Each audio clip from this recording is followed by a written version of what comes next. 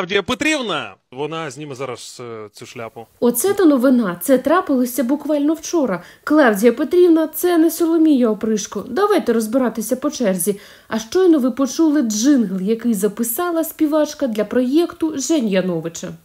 Але я бачив, як виглядає Клавдія Петрівна. Я знаю, хто це. Я тепер знаю, хто це. Тому що коли записували джингл, ми були поруч, і хочете розкажу, хто це? Так.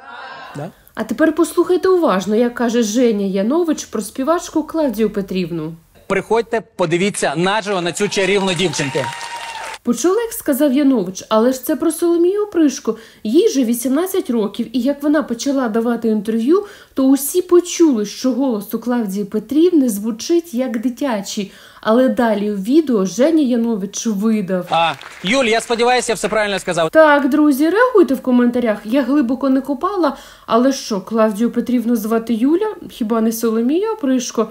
Чи це такий жарт від Яновича? Ніхто не очікував побачити Клавдію Петрівну. Перше залажу артисту під шляпу. У мене ще такого не було. А ось на радіо наше радіо послухайте, як відреагували Артем Пивоваров та Клавдія Петрівна на запитання про Соломію Опришко. Соломія Опришко, чи знаєте ви таку дівчину?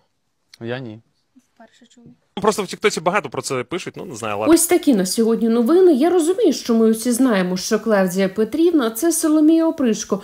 Але ж як круто і далі піарники, співачки прогрівають аудиторію.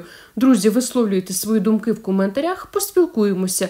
Також подивіться моє відео про Клавдію Петрівну. Я об'єднала їх в плейлист. Посилання лишила на першому коментарі.